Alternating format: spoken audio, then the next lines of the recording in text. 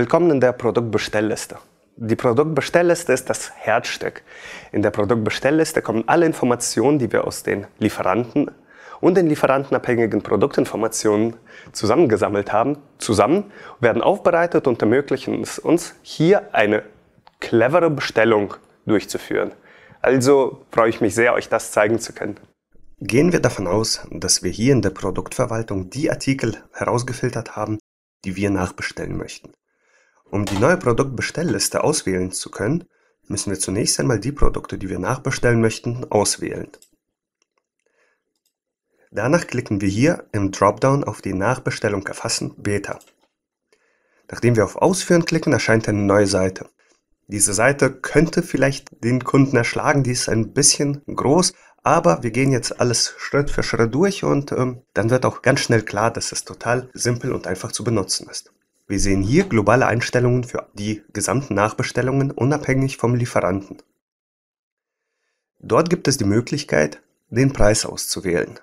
Wir können den Einkaufspreis wählen, der Einkaufspreis, der im Produkt hinterlegt ist für diesen Artikel, den Händlerverkaufspreis oder den lieferantenabhängigen Einkaufspreis. Dazu später mehr. Des Weiteren können wir eine Menge auswählen. Die Menge, die wir denn bestellen möchten. Dabei gibt es verschiedene Auswahlmöglichkeiten. Es gibt die Differenz von dem aktuellen Bestand zu dem Mindestbestand, eine Mindestbestellmenge, die auch im Produkt angelegt werden kann, sowie die Differenz der Mindestbestellmenge zum Bestandstyp. Außerdem kann man die Lagerreichweite in Tagen bestellen. Sprich, gehen wir davon aus, dass alle diese Artikel durchschnittliche Verkäufe haben. Wenn diese durchschnittlichen Verkäufe hochgerechnet werden, können wir berechnen bei Afterbuy, für wie viele Tage bei gleichbleibenden durchschnittlichen Verkäufen dieser Artikel reicht. Und das geben wir an. Ich möchte so viel von allen Produkten bestellen, dass mir der Bestand für 100 Tage reicht.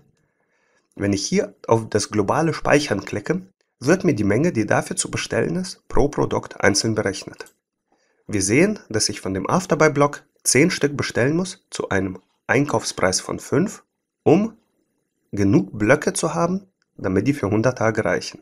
Natürlich hätte ich auch eine eigene Menge eintragen können. So hätte ich bei jedem Produkt eine Menge von 10 bestellen können.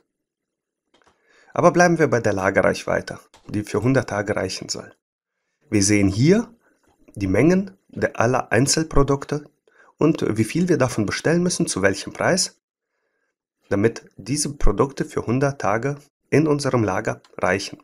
Wir können uns für jedes dieser Produkte die Verkäufe der letzten drei Monate anzeigen lassen.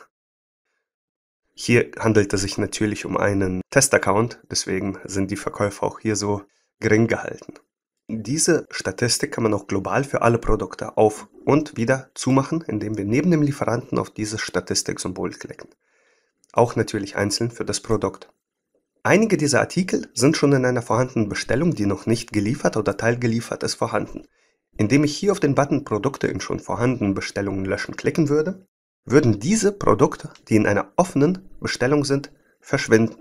Das gibt uns den Vorteil, dass wir nicht nochmal in die Bestellungen reinschauen müssen, welche von diesen Produkten, die uns denn noch fehlen, schon nachbestellt wurden. Also klicken wir einmal da drauf. Wir sehen, nur diese Artikel sind noch in keiner Bestellung vorhanden. Außerdem möchte ich alle Produkte loswerden, die eine Menge von 0 haben. Sprich, ich habe genug davon, sodass ich, um eine Lagerreichweite von 100 Tagen zu erreichen, keine von diesen Produkten nachbestellen muss. Dafür gibt es auch diesen Knopf Nullmengen entfernen. Zudem kann ich aber auch jedes einzelne Produkt einzeln entfernen. Damit es aber schnell geht, klicke ich auf Nullmengen entfernen. Ich sehe also, dass ich diesen Artikel auch bei einem anderen Lieferanten bestellen kann, bei dem Igor-Testlieferant. Dieser hat aber eine weitere Information, und zwar, dass die Verpackungseinheit 10 ist. Diese Verpackungseinheit ist eine der lieferantenabhängigen Produktinformationen, auf die wir gleich zu sprechen kommen. Da diese Verpackungseinheit nicht der von uns berechneten Menge von 4 entspricht, könnte ich diese jetzt auf 10 anpassen, sodass diese Information verschwindet. Gehen wir aber nochmal zurück auf 4 und gehen davon aus, dass es sich hier nicht um einen Testaccount handelt und ich viele Produkte habe, bei denen die Verpackungseinheit angepasst werden muss, dann kann ich auch auf diesen Knopf hier oben klicken und werde alle Verpackungseinheiten global auf die nächsthöhere lieferbare Menge aufrunden. Nachdem das geschehen ist, ist kein Hinweis mehr vorhanden. Jetzt kann ich eine Bestellung erzeugen. Diese Bestellung wurde erfolgreich erzeugt.